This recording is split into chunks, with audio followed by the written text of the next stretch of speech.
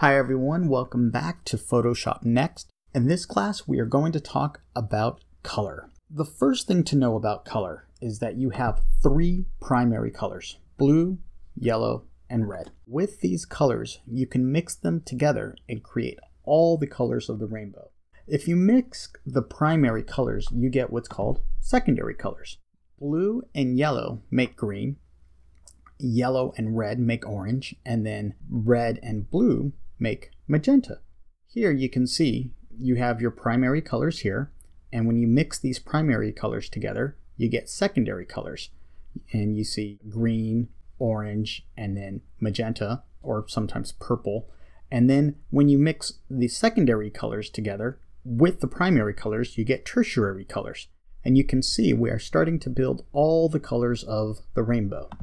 So this is called a color wheel. Now, interesting thing about the color wheel is that when you take these primary colors together and you create the color wheel, is that you have colors on the opposite end of the spectrum.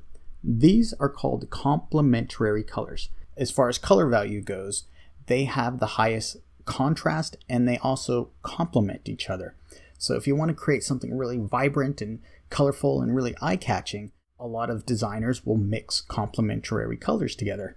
So let's go over to one of my favorite websites, color.adobe.com. This is actually one of Adobe's websites. It is a great place to get color themes, to just study color, and you can come here and find just an infinite number of color themes.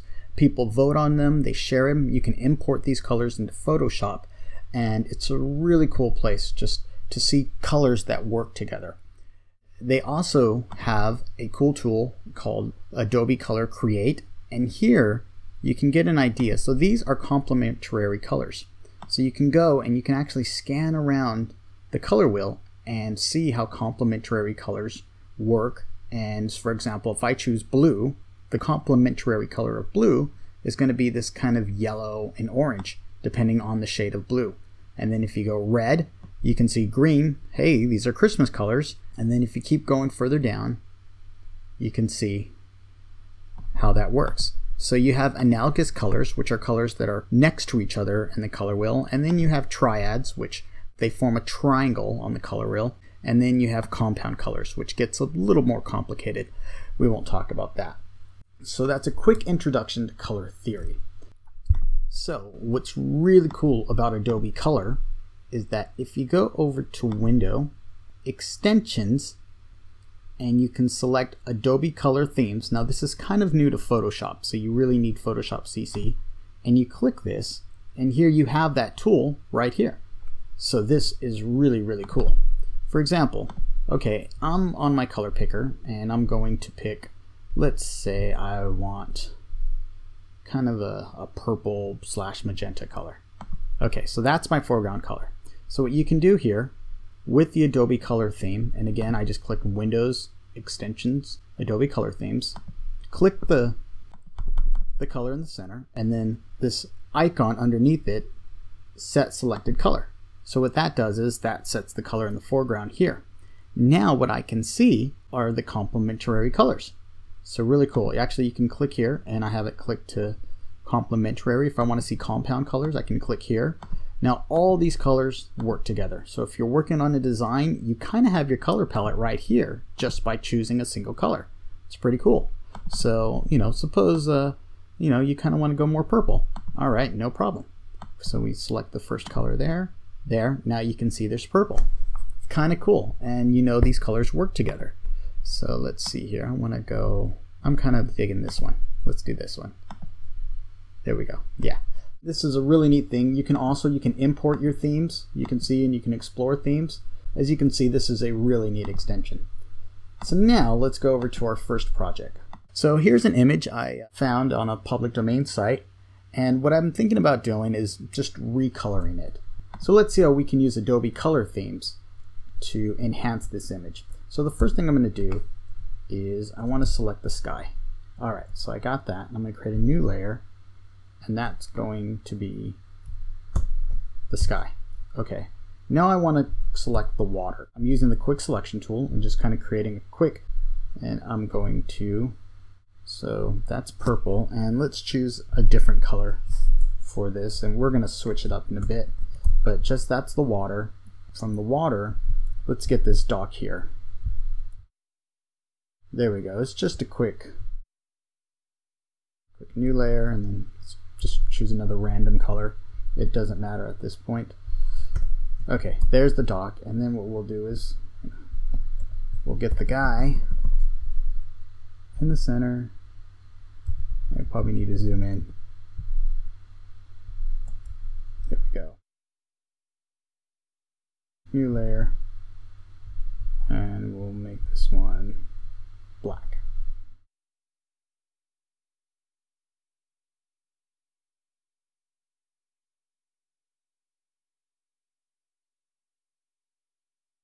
Okay, so let's see how we can enhance this image. So we got everything set up. Okay, so the first thing we're going to do, let's change the color of the sky. So this is the purple that we want. What we're going to do is we're going to blend this to color. And there we go. We made the sky purple. Pretty cool. Now we're going to do, we're going to change the color of the dock. Or actually, let's change the color of the water next. So it's all right, so now we go back to our tools, create, and we're gonna change the color to the dock to green. So what I'm doing is I select here, I have my eyedropper tool, and I'm just gonna drag this all the way over here. It's kind of a quick way, and let's see what happens when we turn this. So there we go. That's a little bit strong. Let's make it a little bit. How about we go, whoops, there, and then I'm gonna go color. So that's kind of cool. I'm digging that. And then the dock. Let's go with the dark. Hmm. There we go. And then we have our guy right there. And so the dock we need to color. Add color there. So that's kind of a neat picture, as you can see. Okay, I need to clean some parts of this image up.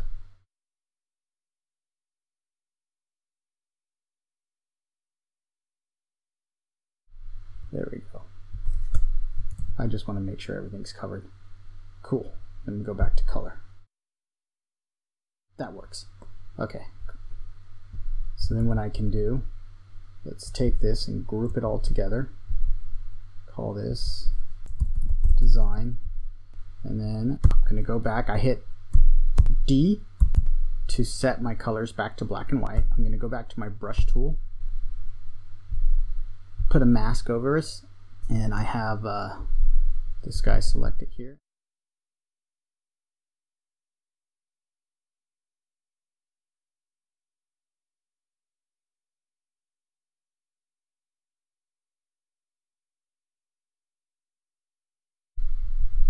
It's going to expand it a little bit more.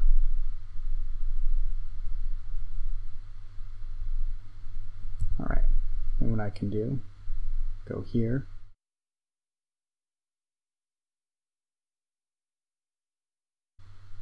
And then we can go here to our blending options.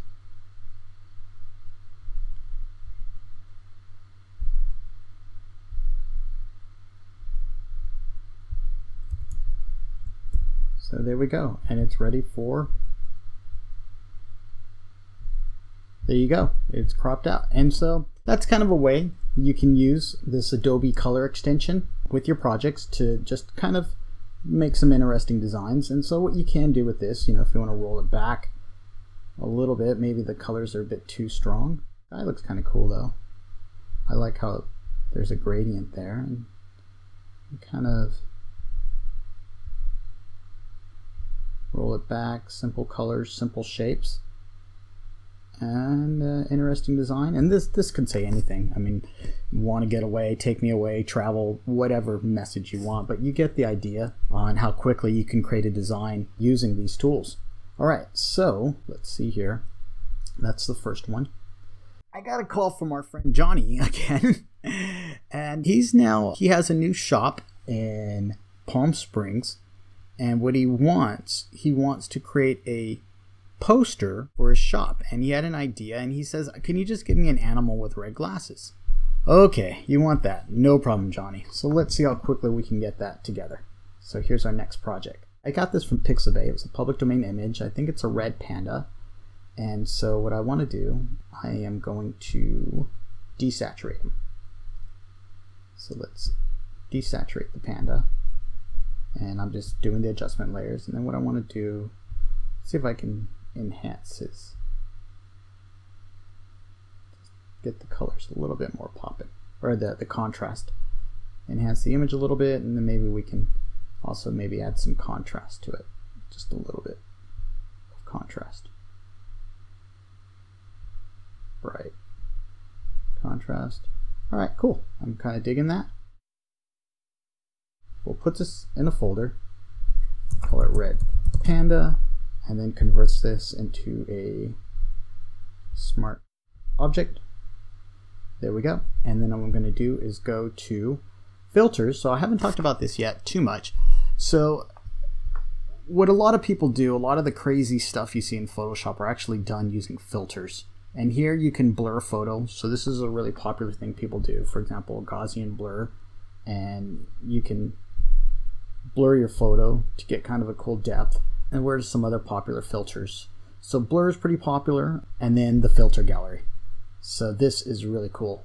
And what I'm thinking about doing, that's kind of interesting. Let's see if we can turn them into like a sketch. So there's all kinds of cool filters you can do. You can do like water paper filter, for example. And so, but I kind of like this sketch.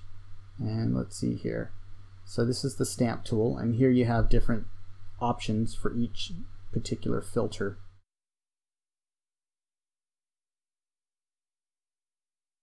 Uh, I think that works. We'll just go on and leave that right there. Cool.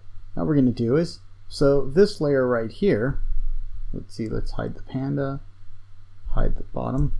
So here's some vector hipster glasses I found again on Pixabay.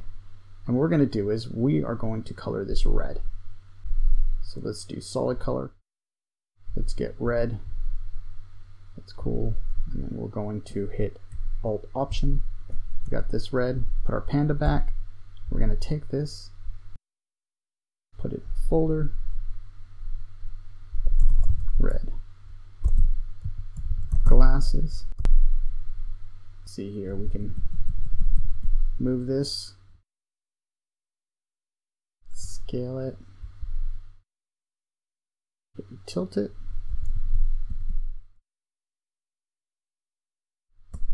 There we go. I'm kind of digging this. This is cool.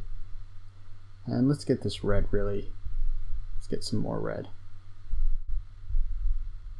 There we go. Maybe darken it a little bit. I'm kind of digging it. That's pretty cool. So now what we can do, scale it up just so you see his face there.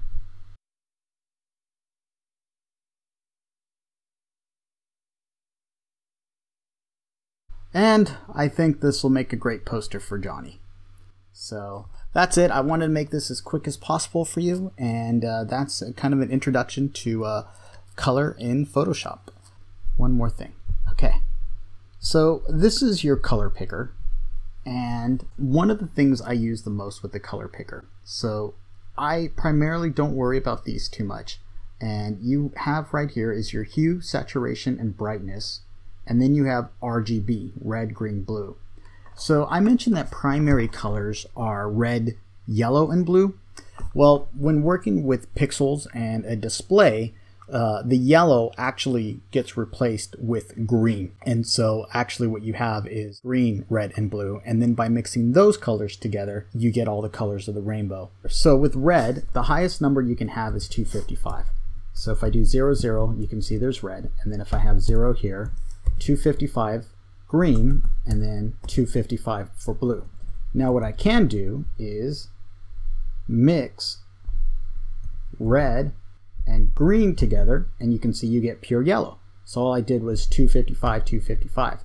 Then what I can do, I can mix green and blue together, and you can see you get cyan. So that's kind of a cool trick. And then if I mix red and blue together, you see there's magenta. So that is your RGB values. And so um, th this is a pretty common value that people use. Um, down here is your hexa values that you use. Um, this I use a lot for the reb. Um, websites tend to use this uh, hexadecimal value, and the way it works is that the first two characters are red, the next two are green, and then the last two are blue. I don't want to get too much into that because you for Photoshop you generally just use red, green, and blue. And then up here is your hue, saturation, and brightness. Now I actually use this tool more than RGB. And so with the hue, um, this is the main thing you want to worry about. So whenever you're using this color tool right here, the main thing you want to get out of this, for example, if we went and selected this color here, let's see if we can do that, this green, so the hue is 96. So the important thing is, is that the hue stays the same. But what you can do is you can alter the saturation and the brightness. So saturation is how vibrant is the color. So you can see it's really vibrant. And then the brightness is just how much light versus darkness of the color. So if I make it really bright and really high saturated, you can see it's almost like a fluorescent green. And then if I desaturate it, it goes slowly to white. And then if I go to my brightness, I can make it really dark.